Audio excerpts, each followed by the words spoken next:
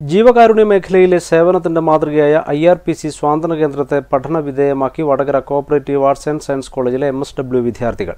ഇരുപത്തിയൊന്ന് ദിവസത്തെ ഇന്റേൺഷിപ്പിനായാണ് അഞ്ച് വിദ്യാർത്ഥിനികളടങ്ങുന്ന സംഘം ഐ ആർ പി സി സ്വാതന്ത്ര്യ കേന്ദ്രത്തിലെത്തിയത്.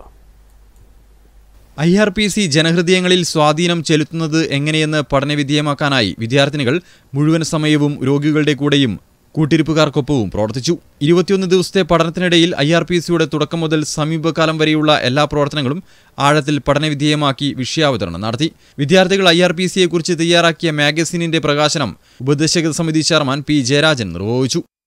ബ്രസീലിൽ നിന്നുള്ള ഒരു വനിതാ ഡോക്ടർ. അവർ ഇതേപോലെ അവർ അലോപ്പതി ഡോക്ടറാണ്.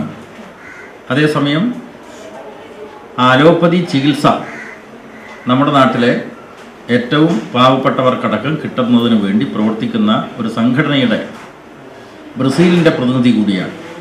ഐ ആർ പി സിക്കുള്ള ധനസഹായം ചടങ്ങിൽ വെച്ച് വിദ്യാർത്ഥികൾ ജയരാജന് കൈമാറി. ചെയർമാൻ പി എം സാജിദ് അധ്യക്ഷത വഹിച്ചു. മുഹമ്മദ് അഷ്റഫ് പുരുഷോത്തമൻ തുടങ്ങിയവർ സംസാരിച്ചു. News bureau Kannur.